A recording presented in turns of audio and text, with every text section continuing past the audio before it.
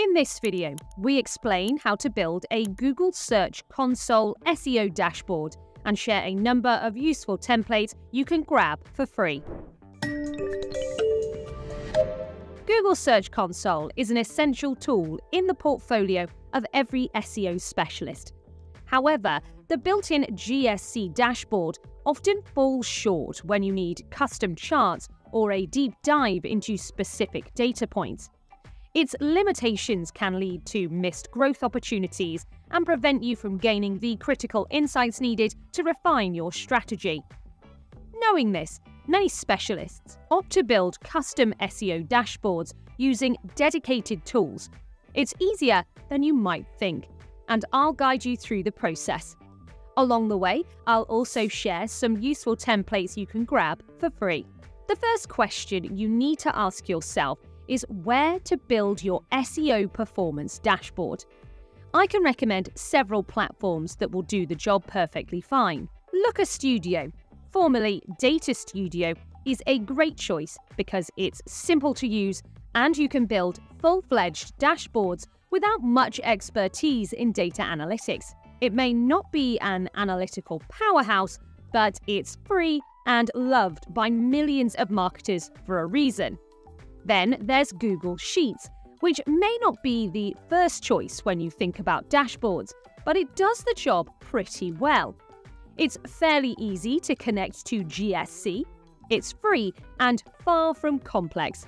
It lacks many features of BI tools, and some charts aren't particularly pretty, but it may be adequate for your needs.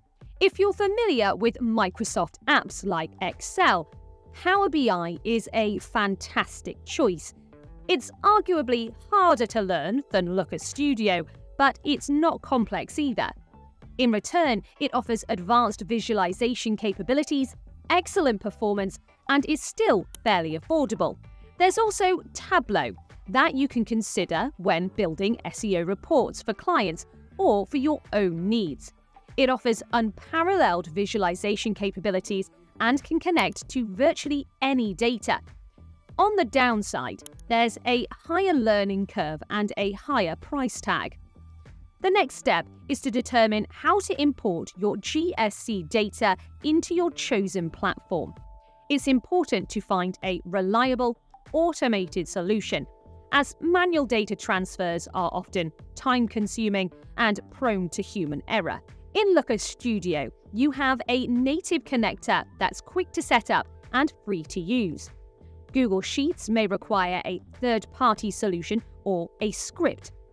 For the likes of Power BI or Tableau, you probably want to first get your data into BigQuery and only then load it into either tool. In either scenario, you're still pulling raw data into the platform and only then building a report from scratch. What I can recommend instead is getting a Google Search Console template that you only need to populate with data. Here's one for Power BI, and here's a similar template in Looker Studio.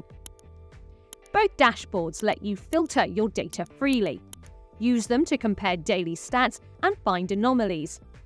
Know what the top pages are and easily determine which pages perform well, or, well, quite the opposite.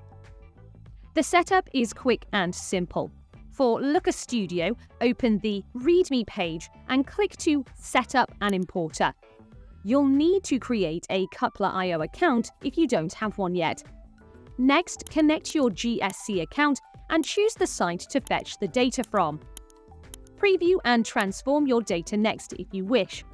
Otherwise, proceed to the Destination Setup Generate a data source for this SEO dashboard in Looker Studio. Once the data is loaded, click to Create a Report and you'll shortly see a dashboard just like this one. For Power BI, copy the integration URL instead. Also, download the template onto your drive and open it in Power BI Desktop. Paste the URL into the window that pops up and click to load the data. Soon, you'll have the dashboard ready to publish or customize to your needs. Another important advantage of building a custom Google Search Console dashboard is the ability to connect your search data with other apps, such as Google Analytics, a CRM, or advertising platforms. Here's another template you can grab for free. It compares impressions generated by your Facebook ads campaigns with the search traffic for the branded keywords. Drill down into the data for specific countries to determine whether a significant increase in ad impressions led to any visible growth in branded searches. Well, it didn't really. Let's check clicks. No spikes there either. Too bad. Find the link to all the SEO dashboard templates I mentioned in this video in the corner of your screen and in the video description below. And if you have any questions, feel free to ask them in the comments. If you have enjoyed this video, please give us a like, share the video with others, and subscribe to our channel so you never miss a thing. Thanks for watching and see you in the next video.